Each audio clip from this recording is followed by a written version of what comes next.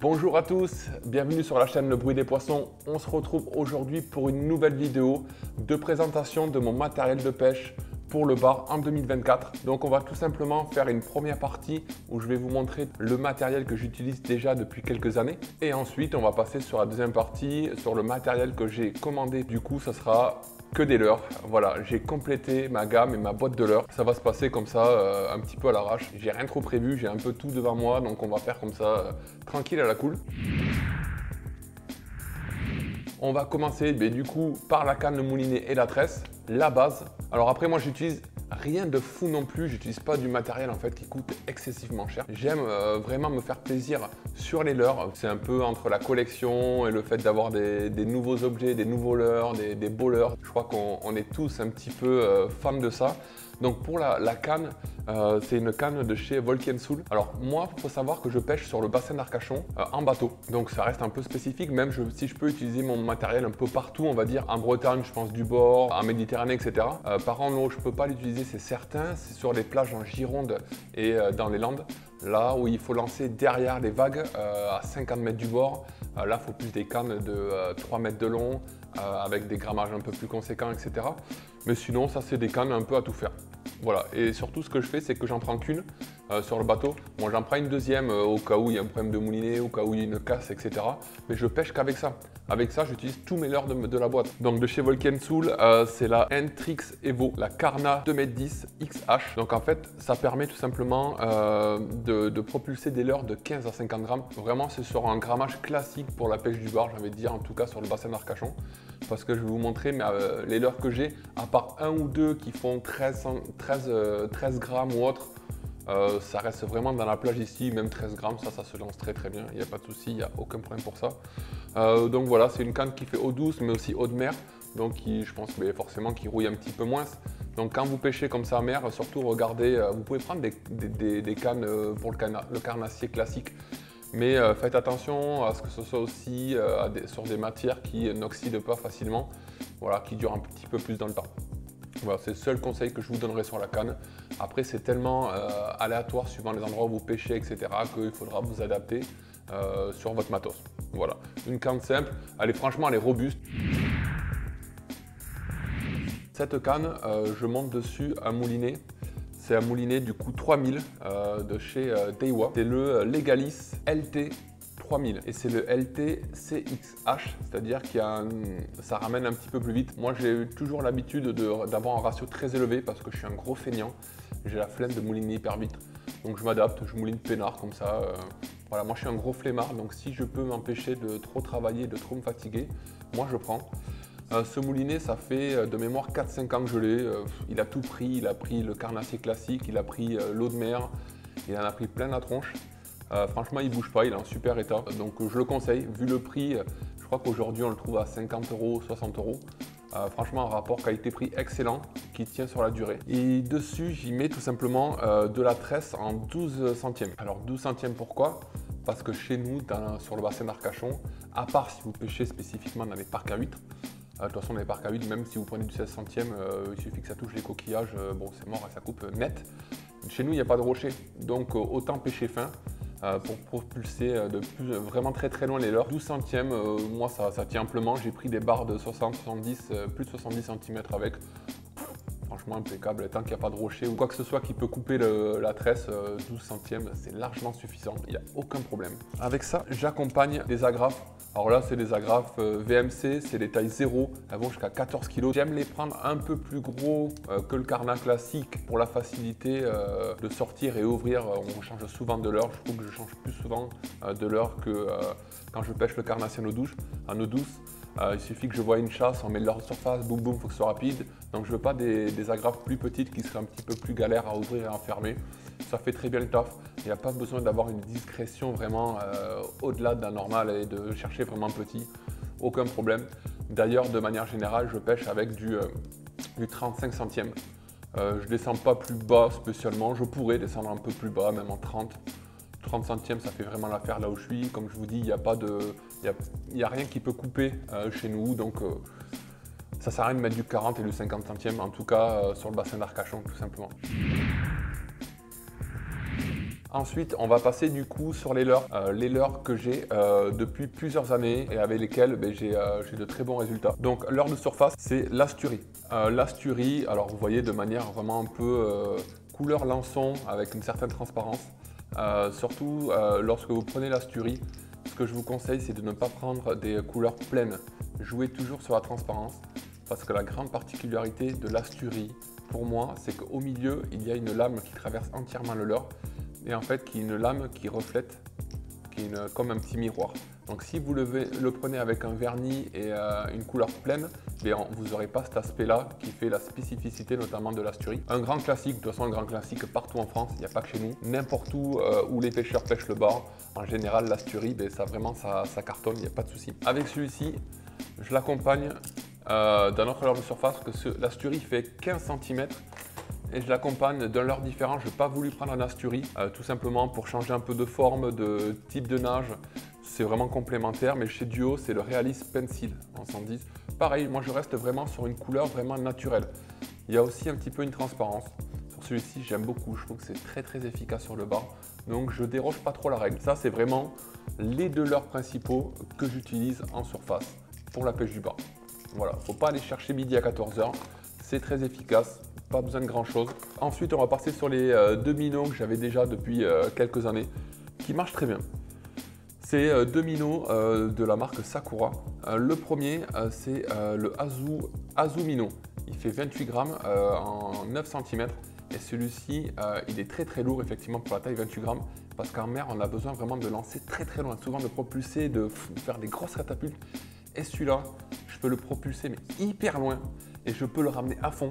Franchement, je fais tourner le moulin à balle. Euh, et avec ça, euh, ben, euh, je prends grave du poisson, que ce soit dans les chasses ou hors chasse.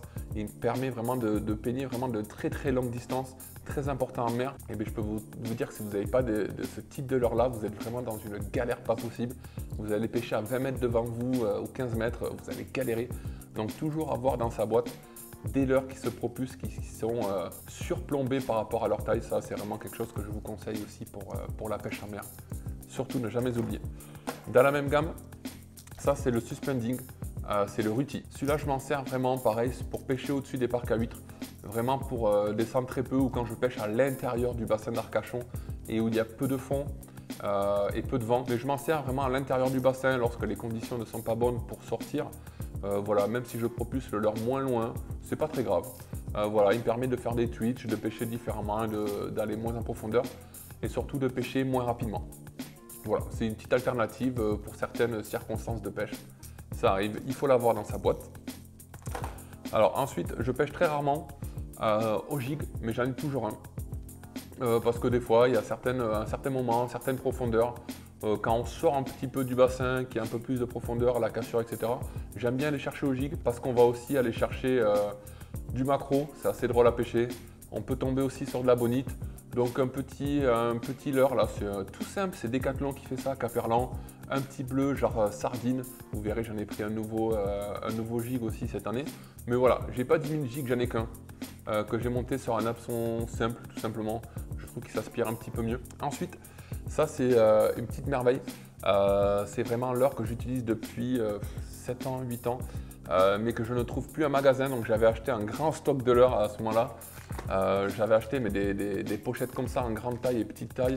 J'en avais acheté, je crois, une quinzaine de pochettes parce qu'il était vraiment en promo à la fin. C'était 2 euros la pochette et je ne l'ai jamais retrouvé. Alors peut-être qu'il se fait ailleurs, il faudrait que je re-regarde de nouveau. Et ceux-là, en fait, je vais les monter sur des, des têtes plombées, mais des têtes à darté.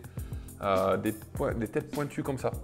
En fait, ça va me permettre de le lancer, de le ramener en faisant des gros twitch. Et en fait, cette tête-là, mais vraiment, il va faire des, bons aléatoires droite-gauche. Et vraiment, euh, c'est tellement aléatoire que le poisson, je le vois qu'à chaque fois, ça le rend complètement fou. Et le bar, à chaque fois avec ce leurre, à chaque sortie, je fais un poisson, au moins un poisson. Si j'ai un leurre vraiment anti-capot avec lequel je pêcherai tout le temps le bar, c'est celui-ci.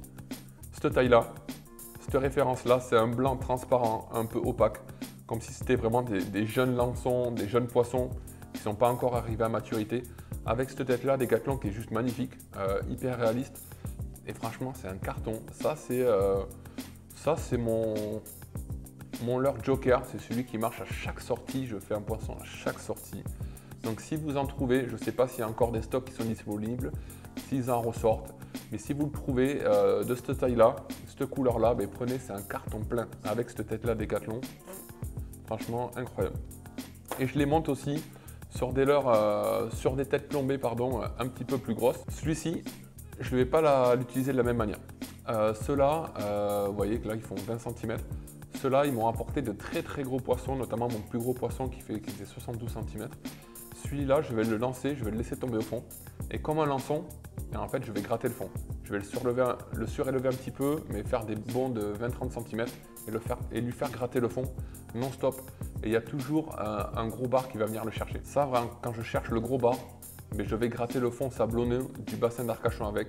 Et celui-là, c'est mon leurre qui m'a rapporté les plus gros poissons de manière générale. Voilà, je l'ai pris euh, en blanc, comme ça, et euh, une couleur euh, transparente aussi, voilà, qui fait très très naturel.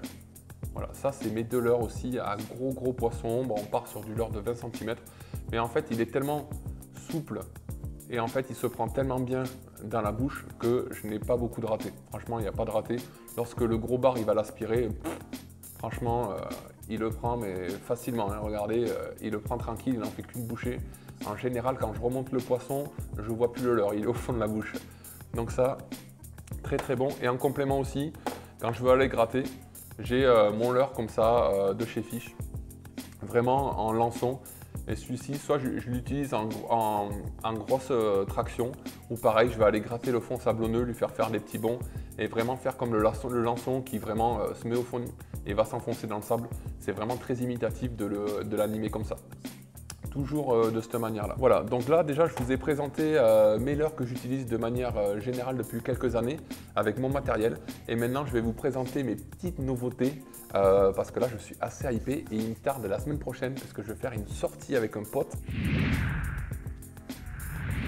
Et place maintenant du coup aux nouveautés et ça, ça fait plaisir. Comme je vous l'ai dit tout à l'heure, j'ai un seul gig dans ma boîte et là du coup j'en ai pris un deuxième. Oh, ça fait un petit moment qu'il me faisait de l'œil celui-ci. Euh, c'est le gig de chez Fish, le Hypno. Euh, mais je vais l'ouvrir. tous les cas. En plus, ce qui est bien, c'est que j'ouvre les leurres avec vous. Ça me fait un deuxième petit kiff. Alors, c'est un petit kiff sympa parce que c'est vraiment... Euh, bon, ça une petite innovation sympa.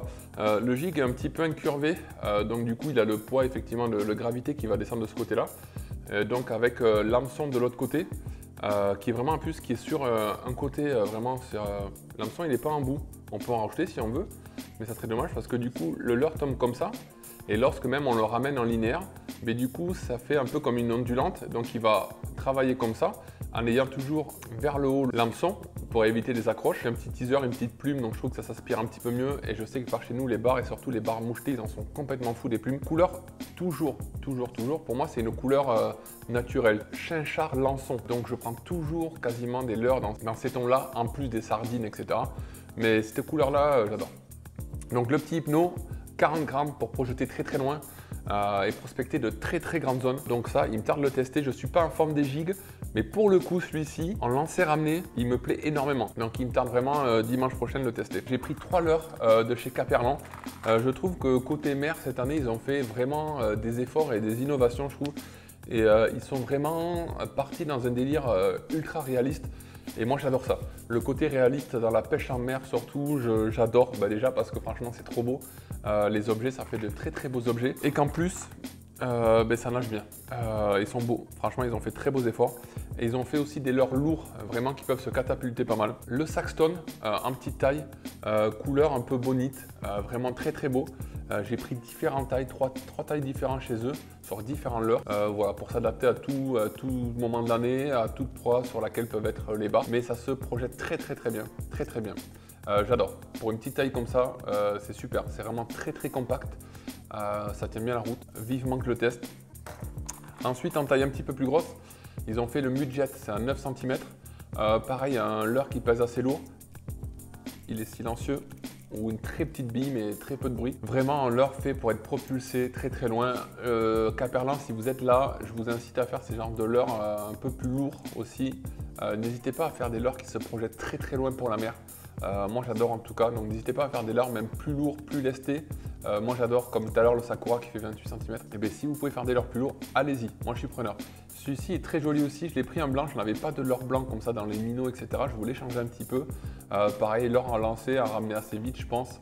Euh, je pense pas que ce soit un leurre à twitcher. Je pense que c'est un leurre en lancé ramené très linéaire qui peut atteindre vraiment des couches rapidement, des couches profondes, vraiment complémentaires à ce que je peux déjà avoir. Et le troisième leurre, je ne l'ai pas non plus déballé. Euh, alors celui-ci, c'est le AGV.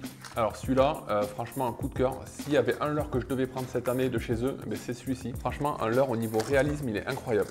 En général, quand on pêche au vif sur le bassin, ce que je ne fais pas, mais la plupart des gens qui pêchent au vif, euh, c'est des petits chiens-chars qui marchent le mieux comme ça. Ça, c'est la bonne taille. Et celui-ci, il est photoréaliste, il est juste magnifique. Et celui-ci, en plus, il a deux œillets, un ici et un au-dessus un au-dessus pour le faire nager comme ça, pour le ramener comme une lame, vibrante tout simplement. Et ensuite on a le deuxième œillet ici, ce que je vais plutôt utiliser. Je suis pas fan de pêcher en vibrant, euh, j'aime pas du tout la sensation. Euh, j'ai pas l'impression que ce soit hyper prenant en plus sur le bar. Je sais pas pourquoi. J'ai déjà essayé une ou deux fois, j'ai rien fait, donc depuis pour moi c'est niette. Mais quand on le prend avec cet œillet là, ben en fait il a, il fait un S comme ça, qui est magnifique, qui est bien planant, qui est magnifique. Et avec ce côté photoréaliste, le premier leurre que je vais utiliser, c'est sûr, dès que je vais aller pêcher en mer la semaine prochaine, c'est celui-ci. Celui-ci, ça sera le premier. Il se projette super loin parce qu'il fait combien? 31 grammes, c'est génial. Super, euh, en plus il est bien effilé, il est bien plat, à mon avis il va partir très très loin. Il est, il est, il est silencieux, j'adore. Des leurres silencieux aussi pour le bar, euh, franchement il en faut. Parce qu'au bout d'un moment, notamment sur le bassin d'Arcachon, où je pense qu'il y a une même population de bars qui reste toute la saison. Ils envoient du leurre, ils envoient du plastique toute l'année. Et euh, de mémoire, effectivement, euh, mai-juin, ça marche. Après juin, quand il commence à y avoir beaucoup de monde qui pêche en bateau, etc., les leurres, ça commence à être plus compliqué. Honnêtement, tout l'été, c'est compliqué, tellement il y a de monde qui pêche. Donc celui-ci, hyper réaliste et silencieux, je pense qu'il va sortir du lot pour toute la saison. Très bonne pioche. Merci euh, Café Et puis pareil, je l'ai pas dit, mais au niveau des prix, c'est pas cher. On, ne dépasse pas un prix de 15 euros de mémoire sur tous les leurres Decathlon que j'ai acheté. Je crois que c'est 12 euros. Euh, voilà, franchement, en plus, le rapport qui a été pris est excellent. Donc, euh, encore merci. Alors, ce que j'aimerais juste, par contre, je, à redire, peut-être, alors les hameçons ont l'air bien, mais un peu plus costaud sur celui-ci, je serais pas contre. Un tout petit peu plus costaud. Mais ils sont déjà costauds, mais quelque chose encore plus fort de faire, je suis, euh, je suis OK pour monter un petit peu en, force sur les hameçons. Euh, j'ai pris deux minots de plus et ce sont les minots de chez Duo International. J'ai pris du leurre, ça fait longtemps que j'en rêvais, je le faisais jamais parce qu'il coûte quand même cher. Euh, ça fait mal au portefeuille donc je l'ai jamais fait. Et là je me suis dit cette année, je vais me faire plaisir. Celui-ci, c'est le Realis Jerkbait 13 cm en suspending. Bien sûr, en mer, on, garde, on peut garder les, les, les trois hameçons ce qu'ils font lever à l'eau douce. Regardez-moi cette couleur macro, il est juste incroyable. Ça, c'est une grande, grande, grande référence pour euh, la pêche au bar. En lancer ramené, il se twitch très bien. On peut vraiment faire des arrêts parce que autant il adore quand on ramène hyper vite le bar, mais il y a des jours où si on ne fait pas d'arrêt, le bar il prendra pas. Et celui-ci, le fait qu'il soit en plus suspending, eh ben, je trouve ça fantastique. Il est magnifique, il est qualitatif. Et là, comme vous dit, là, c'est les hameçons sont plus forts. Vraiment, sont plus forts que celui de Caperlan. Caperlan, juste passé sur une gamme d'hameçons un peu plus costaud euh, pour tenir dans le temps et être sûr de ne jamais euh, vraiment s'ouvrir sur un très très gros poisson. Euh, donc là, on est vraiment sur de l'hameçon très très très costaud, très piquant, un peu recourbé comme je l'aime et un leurre magnifique. Et de toute façon, je ne vais même pas faire les éloges de ces leurres, de ce leurre-là comme celui d'après parce qu'ils sont connus, ultra reconnus. C'est des bêtes euh, pour le bar. Euh, donc celui-ci, je suis hyper heureux. Ça faisait des années que je voulais le prendre et je l'ai enfin trouvé. Et ensuite, le deuxième, euh, c'est toujours de chez Duo International. C'est le Tide Minnow Surf. Celui-ci aussi sur une couleur naturelle, qui est un mélange, je ne sais pas comment on pourrait le dire, qui fait un peu effiler l'ensemble, mais il y a des couleurs un peu bleutées, etc. Euh, vraiment qui se projette très très loin celui-ci aussi, puisqu'il fait 20-30 grammes. Il y a un transfert de masse. L'autre, je ne l'ai pas dit, j'ai même pu... Ah, il est lourd aussi, non, il est un peu plus léger. Euh, mais celui-ci, 24 grammes, transfert de masse. Et vu le, comment il est effilé, il doit très très bien se lancer. Euh, pareil, celui-ci, quand je vois la bavette comme ça, carrée, arrêtez-moi si je dis des bêtises, mais je pense que c'est un leurre à lancer ramener. Assez vite. Boum, boum, boum, plein badin. Euh, vraiment que ce soit dans les chasses ou hors chasse. Euh, magnifique leurre, pareil, une réputation faite et refaite. Je n'ai même pas à en parler. Je ne ferai même pas de retour en mer, etc. Parce qu'on sait très bien que ça marche très très fort. c'est là cette marque-là, c'est une très grosse référence. Donc je suis très très heureux enfin de pouvoir m'acheter des leurres de cette gamme-là et de les avoir dans ma boîte pour la pêche du bord. Petit bijou. Et pour finir, fais un petit achat sur les leurres souples. Euh, parce que tout simplement, ce que j'ai en soupe, moi, c'est que des finesses. Et il me fallait euh, des leurres souples. Normalement, je prenais un ou deux euh, Black Minnow. Mais honnêtement, j'en avais marre de pêcher au Black Minnow parce qu'on les voit depuis longtemps sur le bassin, tout le monde pêche avec.